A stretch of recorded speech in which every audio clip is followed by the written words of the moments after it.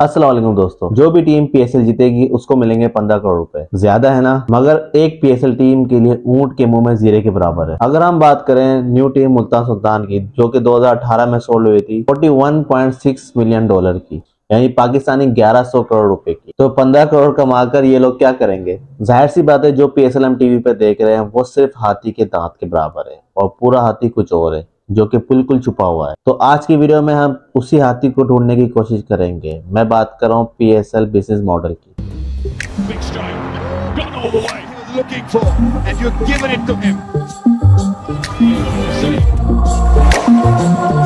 Start हुआ सितंबर 2015 को और इसमें टोटल पाँच टीमें थी और इसको ऑर्गेनाइज किया खुद पीसीबी ने। और इसके तमाम मैचेस उस वक्त यूएई में हुए थे क्योंकि उस वक्त पाकिस्तान के हालात थोड़े बेहतर नहीं थे। और उस वक्त इंटरनेशनल टीमें जो है पाकिस्तान में खेलने नहीं आती थी। और पीएसएल को आप ये भी कह सकते हैं कि ये आईपीएल से इंस्पायर होकर बनाया गया है। बिज़नेस मॉडल समझने से पहले हमें ये समझना होगा कि पीएसएल जो है वो गवर्निंग बॉडी है पीसीबी की। और ये बात जान लें कि पीसीबी एक प्राइवेट एंटिटी है। यानी इसका गवर्नमेंट से कोई भी लेना देना नहीं वो अलग बात है कि गवर्नमेंट का इस पर कुछ ना कुछ इन्फ्लुएंस रहता है। वेल टॉपिक पे वापस से आते हैं। पीएसएल को ऑर्गेनाइज करने की जो मेन ज़िम्मेदारी है वो पीसीबी की। पीसीबी के अलावा तीन और मेन कंपोनेंट हैं इस पीएसएल रेवेन्यू मॉडल के। फ़र्स्ट है ब्रॉडकास्टर जो आपको टीवी पे मैच दिखाता है। सेकंड है पीएसएल टीम जिसको ऑन किया जाता है प्राइवेट कंपनी या प्राइवेट ओनर थर्ड है स्पॉन्सर जो प्राइवेट कंपनी स्पॉन्सर करते हैं। पीएसएल या पीएसएल की टीम को और एड्स देते हैं टीवी और पीसीबी खुद इस कंपोनेंट का फोर्थ मॉडल है, इस पीएसएल बेसिस मॉडल का।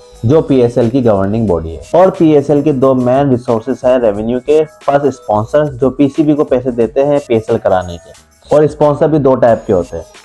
फ़र्स्ट होता है टाइटल आपने ये बात नोट की होगी, जब भी पीएसएल का नाम लिया जाता है तो उसके आगे या पीछे हम एचपीएल यूज़ करते हैं, यानी कि एच पी जैसे कि आईपीएल में होता है टाटा आईपीएल और वीवो आईपीएल और ये टाटा और एच कहलाता है टाइटल स्पॉन्सर और इस टाटा स्पॉन्सर बनने के लिए ब्रांड बहुत ज़्यादा पैसे देते हैं। पीएसएल के साथ अपना नाम जोड़ने के लिए एच ने 2016 से लेकर 2018 तक के पैसे दिए थे 13 मिलियन डॉलर, यानी पाकिस्तानी 133 करोड़ रुपए। और 2021 के बाद पीएसएल के साथ अपना नाम जोड़ने वाले कॉन्ट्रैक्ट को रिन्यू कराने के लिए एच ने पीसीबी को दिए थे 14.3 मिलियन डॉलर।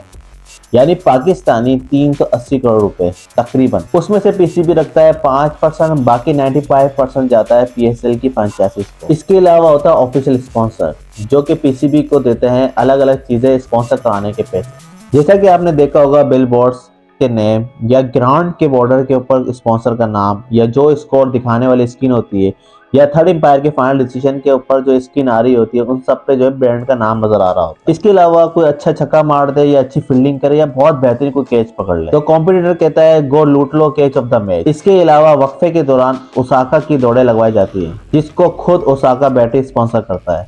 और इन सबसे पीसीबी को मिलते हैं 400 करोड़ रुपए से भी ज़्यादा। अब आते हैं दूसरे ज़रिए पे, जिसके ज़रिए पीसीबी खुद कमाता है, और वो है ब्रॉडकास्टर अब पीएसएल किसी न किसी चैनल टीवी पे तो ज़रूर चलेगा। तो किस चैनल पे दिखाया जाए, इसकी अलग अलग बोली होती है। जो हर चैनल चाहता है कि उनके चैनल पे दिखाया जाए, ताकि उनको व्यूवरशिप मिले। तो इसके लिए पीसीबी चैनल को ब्रॉडकास्ट राइट देता है पैसे लेके। 2021 से 2023 तक के लिए ये ब्रॉडकास्ट राइट्स दो चैनल को दिए थे। ए स्पोर्ट्स और पीटीवी स्पोर्ट्स जो दिए गए 24 मिलियन डॉलर में, यानी पाकिस्तानी 650 करोड़ रुपए। और इस साल 2024 में इन दो चैनल ने ही 45 परसेंट इंक्रीमेंट करके ये राइट्स अपने पास ही रखे। अब आप लोग ये सोच रहे होंगे कि ये लोग इतना पैसे देके कुछ कमा भी रहे होंगे। तो मेरे भाइयों तो इससे वो अपना पैसा वापसी ही नहीं, बल्कि बहुत अच्छा खासा जो है प्रॉफिट भी कमाते हैं। क्योंकि पी एस एल दो हज़ार चौबीस के मैचेस के दौरान आपने बहुत ज़्यादा एड्स देखे होंगे। जैसे कि मैं देख रहा होता हूँ क्लिक्स या जीरा प्लस के। और इन एड्स को दिखाने के इनको पैसे देने पड़ते हैं, जो कि तकरीबन पंद्रह से बीस लाख रुपए होते हैं सिर्फ़ और सिर्फ़ दस या बारह सेकंड के एड्स के लिए।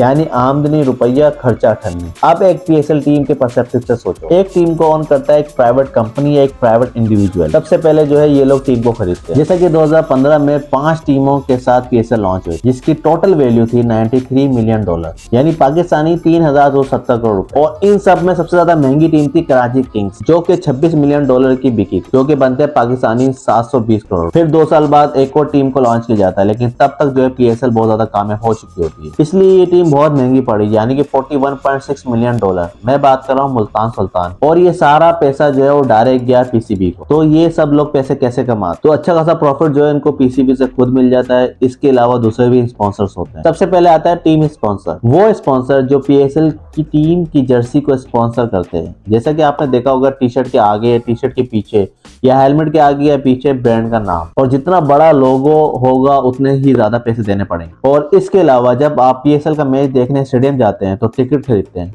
तो उस टिकट का 95 परसेंट जो है वो डायरेक्ट इन फ्रेंचाइजीज को जाता है। इसके अलावा मर्चेंडाइज भी एक ज़रिया है। जैसे कि आप किचन खरीदते हैं टी शर्ट खरीदते हैं, या फिर कोई भी कस्टमाइज मोबाइल कवर खरीदते हैं तो इसका पैसा भी डायरेक्ट फ्रेंचाइज को ही जाता है। फिर आता है प्राइज मनी जैसे की जीतने वाली टीम को मिलेंगे बारह करोड़ रूपए, और जो रनअप टीम होगी उसको मिलेंगे पाँच करोड़ रूपए। और ये जो सारा पैसा है विनिंग का, उसमें से आधा पैसा जो डायरेक्ट जाता है ऑनर को और आधा पैसा जाता है टीम के प्लेयर्स को। और अब अगर इसको प्लेयर के परस्पेक्टिव से सोचो, इनके तो मज़े ही मज़े है ना। इनको तो एक सैलरी भी मिल रही है। इसके अलावा अगर जीत जाते हैं तो आधा पैसा भी मिल रहा है। इसके अलावा जो इनका ब्रांड वैल्यू भी बढ़ रही है। और फिर आता है ऑप्शन यानी कि पी एस ड्रॉप जिसमें पाँच कैटेगरी होती है। Number one platinum number two diamond number three gold number four silver और नंबर फाइव इमर्जिंग तो आज की वीडियो को हम यहीं तक रखते हैं। होपफुली आपको वीडियो अच्छी लगी। अगर वीडियो अच्छी लगी तो वीडियो पर लाइक एंड शेयर ज़रूर करें और साथ साथ अपना कमेंट करें ताकि मैं इस वीडियो का सेकंड पार्ट भी बनाऊँ थैंक यू फॉर वॉचिंग अपना क्या रखेगा अल्लाह